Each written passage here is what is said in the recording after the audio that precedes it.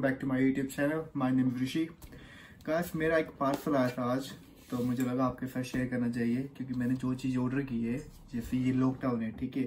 तो मैं सारे सप्लीमेंट तो भी नहीं खा रहा हूँ, ठीक है? जितनी मैं घर पे एक्सरसाइज करता हूँ, पंद्रह से बीस मिनट तो उसके लिए मैं उतने सप्लीमेंट लेता हूँ जितनी बॉडी को जो जो जो हमारी बॉडी को ज़रूरत है गैस एट द मोमेंट क्योंकि हम ज़्यादा वर्कआउट नहीं करते तो हमें ज़्यादा सप्लीमेंट की ज़रूरत नहीं है guys Before we move on the topic guys, make sure you subscribe my channel, like the the bell icon. जैसे आपको मालूम है वीक में तीन चार वीडियो अपलोड करता हूँ.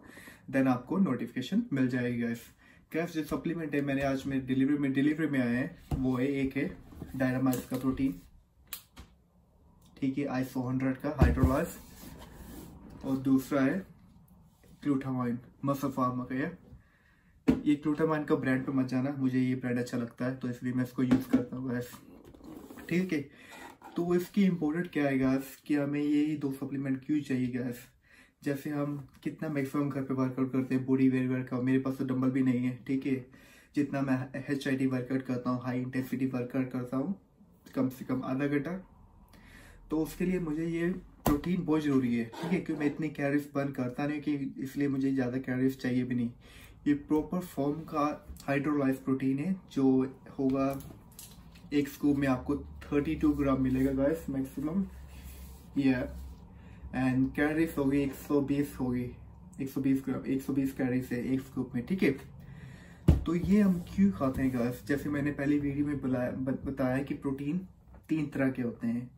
कॉन्सनट्रेट हाइड्रोलाइज एंड आइसोलेट ठीक है, जो कॉन्सनट्रेट प्रोटीन होता है, जो सभी खाते हैं, ठीक है, जिसमें शुगर प्रोटीन होता है मैक्सिमम 25 ग्राम शुगर होती है 70 ग्राम तो फैट उसमें और भी ज़्यादा, और भी ज़्यादा होती है, ठीक है।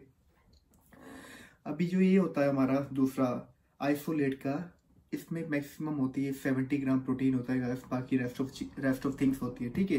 तो नॉर्मल आदमी आइसोलेट भी जाते हैं, जो अच्छी तरह से वर्कआउट करते हैं, ठीक है? जिनको कम्पीट करना होता है कंपटीशन करना होता है, वो ये यूज़ करते हैं, क्योंकि ये अगर thirty thirty thirty two gram का स्कूप है तो ये सारा प्रोटीन ही है गैस इसमें कोई शुगर नहीं है.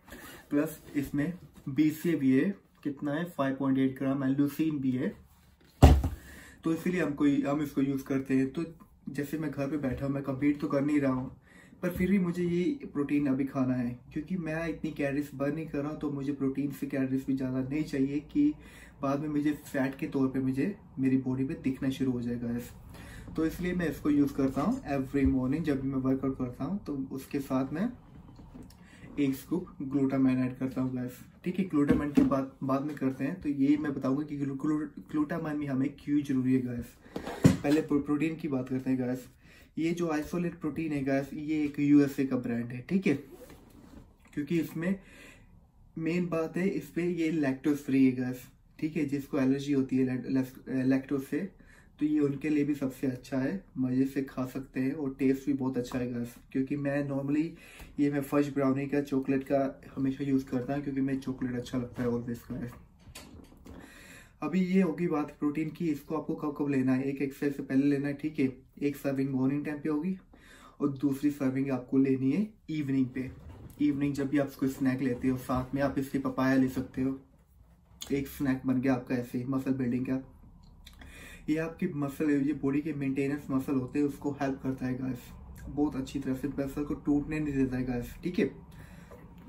अभी बात करते हैं हम ग्लूटामाइन की गैस कि ग्लूटामाइन क्यों ज़रूरी है गैस मैंने पहले भी वीडियो में आपको ये दो चीज़ों को बताया था कि ग्लूटामाइन जो है हमारा, ये एक नॉन एसेंशियल अमीनो एसिड है गैस ठीक है?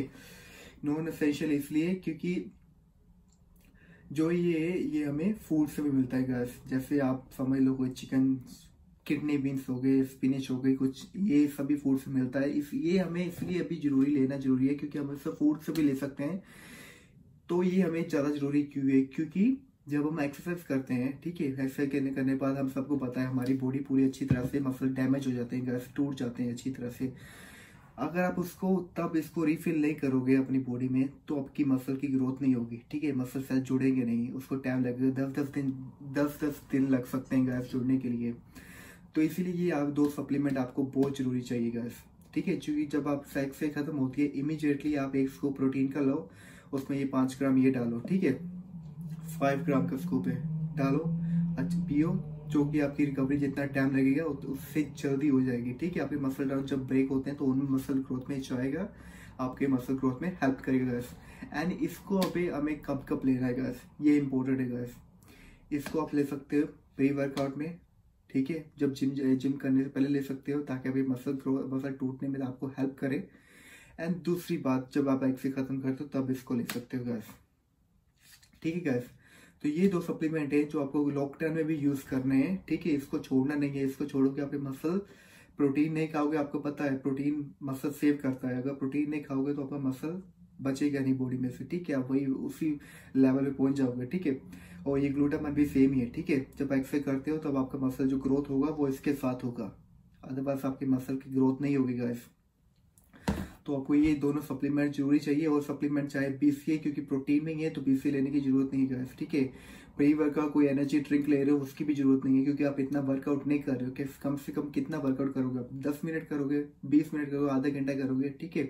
तो उसके लिए बीसी की ज़रूरत नहीं है। आप ब्लैक कॉफ़ी कुछ पी सकते हैं। मैं ब्लैक कॉफ़ी में भी वीडियो सेपरेटली बनाऊँगा कि आपको ब्लैक कॉफ़ी के क्या क्या फ़ायदे हैं, ठीक है? वो भी अच्छा है फैट लूज करने के लिए गैस ये जो प्रोटीन है गैस ये प्रोटीन आपको फैट लूज में भी हेल्प करेगा मसल गेन में भी हेल्प करेगा, ठीक है?